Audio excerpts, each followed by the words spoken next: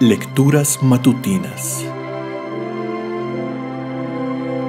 Por Charles Spurgeon.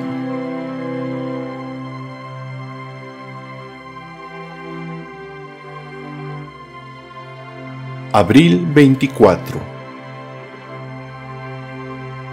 Aprendiendo a aprovechar nuestras oportunidades.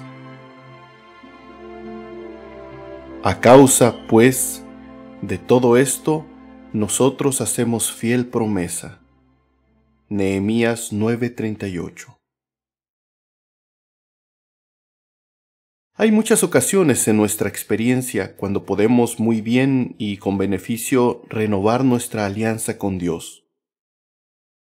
Después de convalecer de una enfermedad, cuando como Ezequías hemos conseguido alargar nuestras vidas unos años más, podemos renovar la alianza después de haber sido librados de alguna aflicción, cuando nuestro gozo floreció otra vez, vayamos de nuevo a la cruz y renovemos nuestra consagración.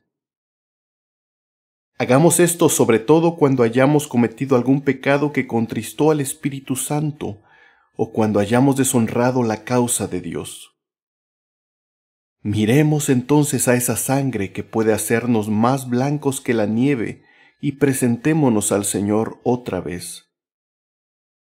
No debiéramos permitir que únicamente nuestra aflicción confirme nuestra dedicación a Dios, sino que también lo haga nuestra prosperidad, sino que lo haga también nuestra prosperidad. Si alguna vez nos hallamos en tiempos en los que Dios nos corona de favores, entonces si Él nos ha coronado, debemos nosotros coronarlo a Él.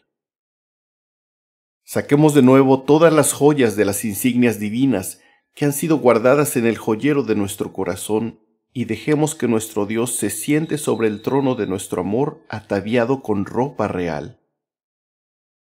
Si aprendiésemos a aprovechar nuestras oportunidades, no necesitaríamos tanta adversidad.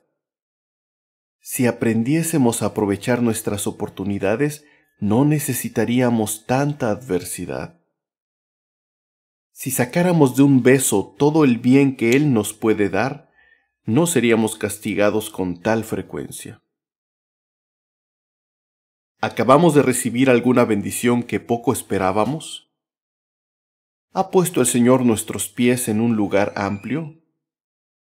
¿Podemos cantar de misericordias multiplicadas? Entonces es hora de poner nuestras manos sobre los cuernos del altar y decir, Átame aquí, Señor, átame aquí con cuerdas para siempre. En vista de que necesitamos de Dios el cumplimiento de nuevas promesas, ofrezcamos renovadas oraciones para que nuestros antiguos votos sean cumplidos.